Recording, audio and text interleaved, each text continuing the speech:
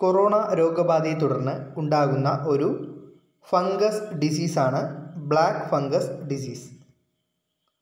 Tamil Nadu Telangana സർക്കാരുകൾ ഇതിനോടകം തന്നെ ഈ രോഗത്തെ ഒരു എപ്പിഡമിക്കായിട്ട് പ്രഖ്യാപിച്ചു കഴിഞ്ഞു.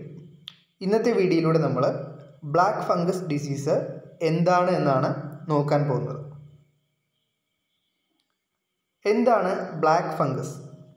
മ്യൂക്കർ മൈസീറ്റ്സ് എന്ന ഫംഗസ് മൂലമുണ്ടാകുന്ന മ്യൂക്കർ മൈക്കോസിസ് എന്ന രോഗമാണ് ബ്ലാക്ക് ഫംഗസ് ഡിസീസ്.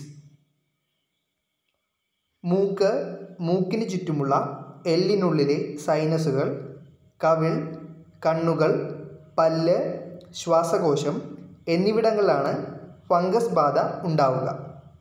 പ്രത്യേകിച്ച് മൂക്കിന് ചുറ്റും കറുത്ത നിറം കാണുന്നത് കൊണ്ടാണ് ബ്ലാക്ക് ഫംഗസ് എന്ന പേരിൽ ഇത് അറിയപ്പെടുന്നത്. ചിത്രത്തിൽ കാണുന്നതാണ് ബ്ലാക്ക് ഫംഗസ്. നിയന്ത്രണാതീതമായിട്ട് പ്രമേഹ രോഗമുള്ളവർ സ്റ്റിറോയിഡ് ഉപയോഗം മൂലവും മറ്റു രോഗങ്ങൾ മൂലവും ശരീരത്തിന്റെ രോഗപ്രതിരോധ ശേഷി കുറഞ്ഞവർ എന്നിവരിൽ ഈ രോഗം ഉണ്ടാകാനുള്ള സാധ്യത വളരെ കൂടുതലാണ്.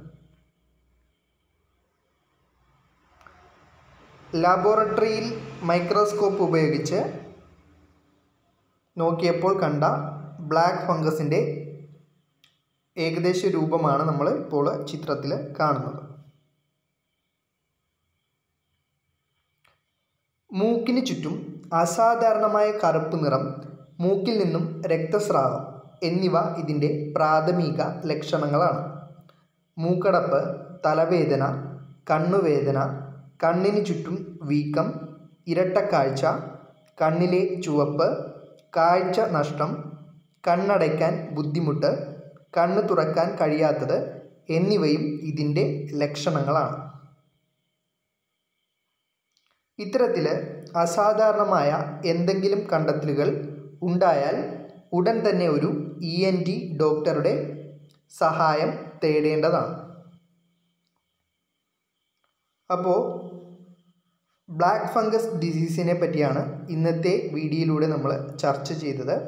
ഇതുപോലുള്ള കൂടുതൽ ഇൻഫർമേഷൻസ് ലഭിക്കുന്നതിന് വേണ്ടിയിട്ട് ഈ ചാനൽ സബ്സ്ക്രൈബ് ചെയ്യുക. താങ്ക്